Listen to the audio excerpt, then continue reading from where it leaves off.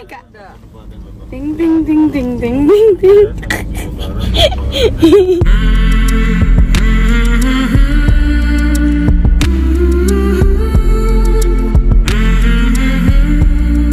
Assalamualaikum, saya Lesti untuk teman-teman semuanya. Jangan lupa like, comment, and subscribe.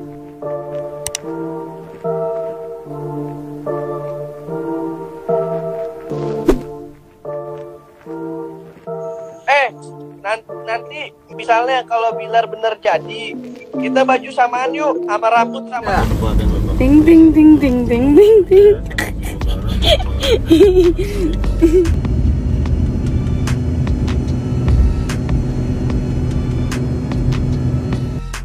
Setelah sebelumnya sempat transit di Bali, kini kapal cute kita, kesayangan kita Lesti dan Bilar sudah mulai menuju Sumba. Tentu saja hal itu semakin menarik karena ini yang berangkat adalah calon manten. Karena sebagaimana bocoran yang beredar, insya Allah bulan Februari mereka akan melangsungkan yang namanya prosesi pernikahannya tersebut. Kita doakan saja, moga mereka dilancarkan dan dimudahkan dalam menyusun serta merencanakan acaranya tersebut. Apalagi liburan di akhir tahun hingga hari ini. Di awal tahun 2021 ini nampak persiapan-persiapan yang kian nyata. Tak hanya dari mereka tapi dari para fan Leslar yang sudah pada menunggu perayaan pernikahan mereka yakni Lesti dan Bilar.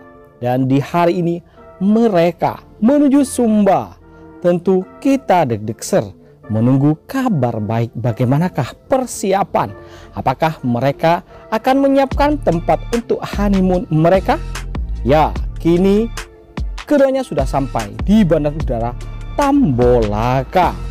Ya, di Sumba memang terkenal pemandangannya, keasriannya, serta tempat wisatanya yang aduhai. Tentu saja hal itu juga cocok. Ntar sehabis nikahan mereka cari tempat-tempat di manakah yang kira-kira pas dan cocok dengan suasana hati mereka di sana. Ya, belibur sekalian survei untuk persiapan honeymoon. Ya, bulan madu guys, tentu saja ya harus segera disiapkan karena memang rencana mereka diam-diam memang sudah sedemikian matang. Jadi, tak hanya persiapan tempat honeymoon, tetapi bagaimana cara mengatur keuangan, Lesti pun sudah diuji oleh Bilar pada saat kemarin berkunjung ke pasar.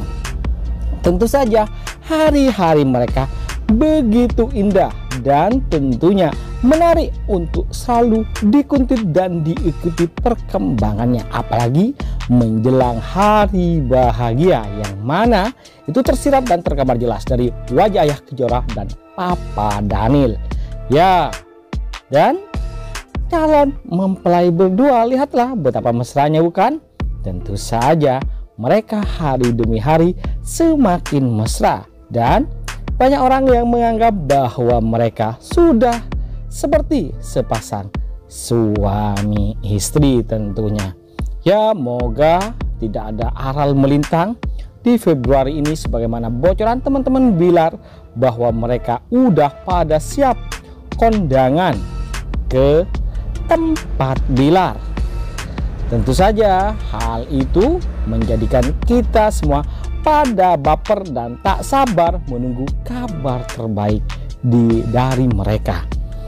Dan di hari ini ketika mereka berlibur sambil ya melihat-lihat keadaan manakah nantinya tempat honeymoon yang paling cocok untuk mereka berdua di tengah pandemi sekarang ini tentu semoga dimudahkan dan mereka juga mendapatkan tempat yang pas di hati mereka sehingga bisa berbulan madu romantis yang hal itu tentu membuat kita semua penasaran dan selalu mendoakan hal yang terbaik untuk couple cute kita Semoga liburan mereka di hari ini di Sumba begitu indah, menarik, serta juga selalu diliputi dengan kebahagiaan tentunya.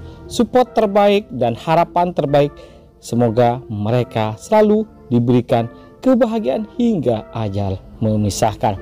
Itu saja kabar di hari ini, di siang hari ini menuju hari bahagia yang tinggal menghitung hari tentunya. Jadi bagi kalian yang ingin kabar terbaru mengenai mereka berdua jangan lupa untuk selalu stay tune di channel kita ini. Caranya cukup mudah dengan klik subscribe dan nyalakan loncengnya. Agar lebih berwarna channel kita ini jangan lupa juga bagi kalian untuk selalu komentar bagaimana sih menurut kalian. Tapi ingat guys, jangan mendiskreditkan satu sama lain.